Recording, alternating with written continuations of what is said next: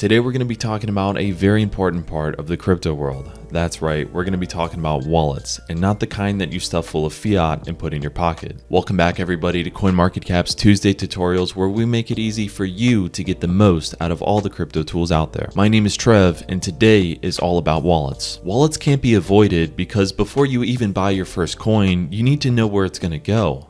Logical, right? Small note here this isn't financial advice, and I have to keep saying that. And really, what it means is don't take my advice, lose money, and then go sue me, okay?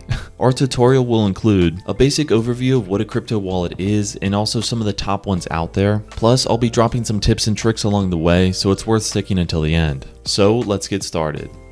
Here at CoinMarketCap, we love making videos about all things crypto. If you want more videos like this, then hit the like button down below. So let's start with the basics. Why do we even use a crypto wallet? Especially when you keep it on an exchange, you give up your private keys. And as the saying goes, not your keys, not your crypto. In such a case, you put all of your trust in the exchange's team and security level. And as technology is advancing rapidly, so are hackers' capabilities. No matter what security verification process and policies that exchange implements, there's always a risk of getting hacked you may end up losing all of your coins or tokens. The history of cryptocurrency is full of such hacks, and the most famous one being the Mt. Gox heist, where around 850,000 bitcoins were stolen. The KuCoin hack is another example of these attacks, where users' data got leaked and hackers stole about $275 million.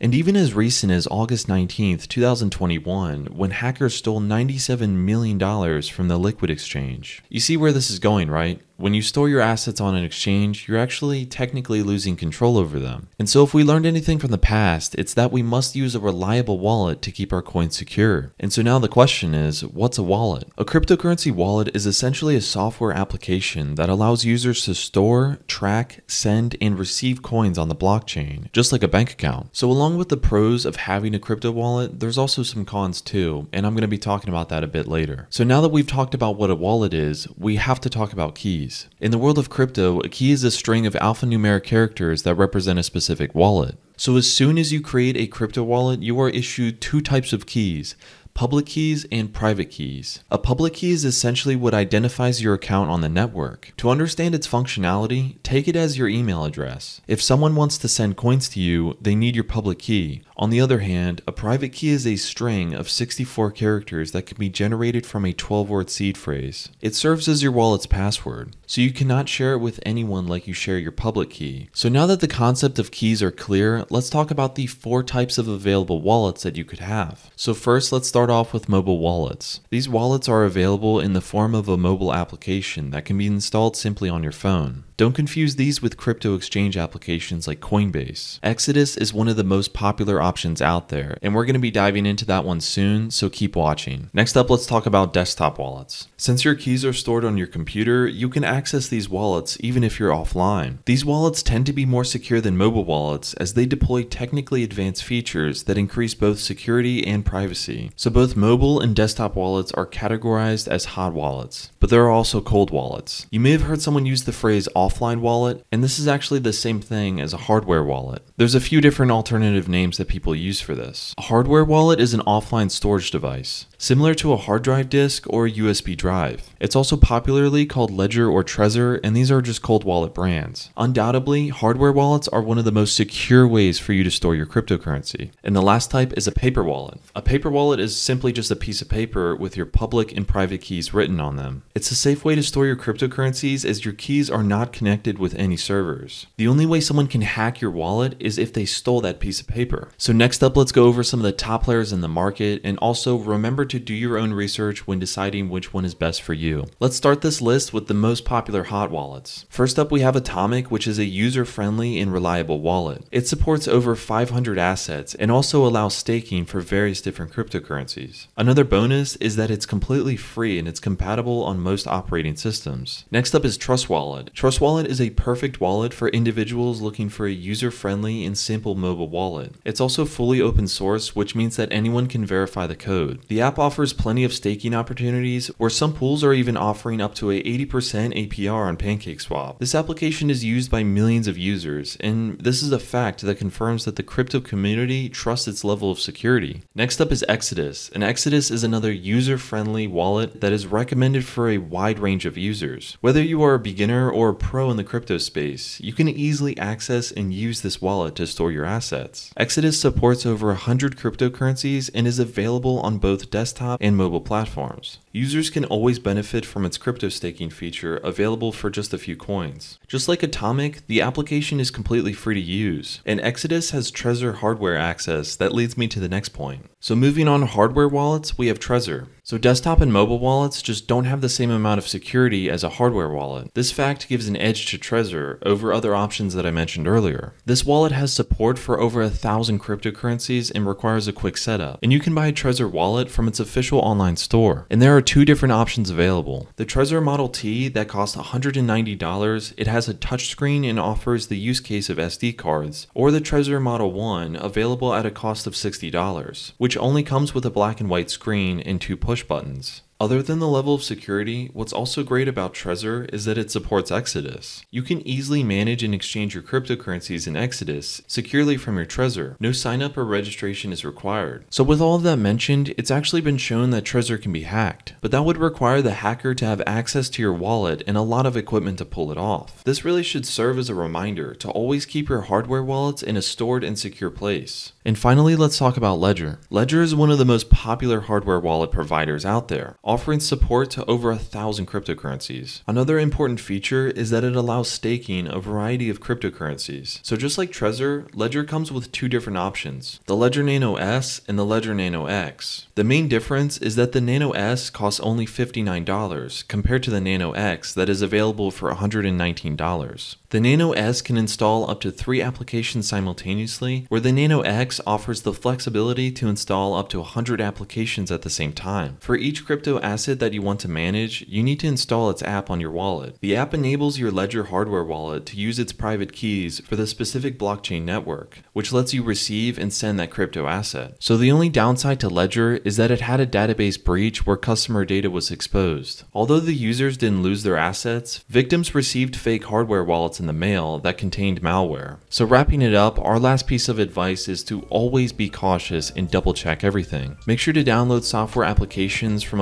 official or reliable sources. If you receive a suspicious link in an email, do not click it. Be very careful. Thank you for joining me on this week's episode of CoinMarketCap's Tuesday Tutorials, where we make it easy for you to get the most out of all the crypto tools out there. Make sure to subscribe and also share this video with a friend or a family member. So anyways guys, if you have any questions, let us know in the comment section down below. And for everything else crypto related, just ask Alex in the description below. Anyways guys, see you soon.